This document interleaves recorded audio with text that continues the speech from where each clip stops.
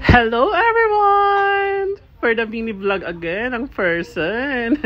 So for today's video, iti-check natin kung anong ginagawa ni Kuya Orange at ni Sisi Daria. Oh my God! What is that? Hmm? What is that? Let's check. Oh my God! Ang usok. Mausok, mausok. Wala akong makita. Oh my G.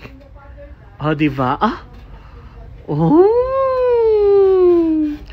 For the barbecue, ang mga person. O, di ba? Ang sarap!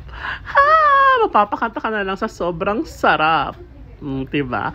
Amoy pa lang, ulam na. Mm. Barbecue kayo dyan, mga friend. At ito pa, meron pang ribs. Wow! Hindi lang yun. Oh, may chicharong bulaklak. Yummy yan. Mm, for the putok-batok ang person.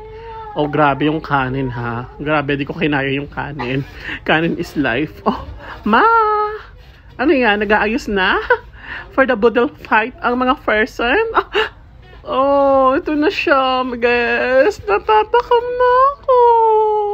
Ah, um, yummy, yummy in my tummy. Mm, ang sarap, diba?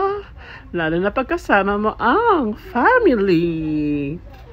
At diba, kung hindi nyo makaya mag-budol fight sa labas, gawin nyo na lang sa bahay. Mas masaya na, mas masarap pa.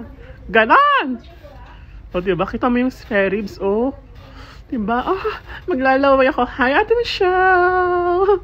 Makikigulo at makikikain. Oh, kain tayo, guys! Nam nam nam! Mm, yummy!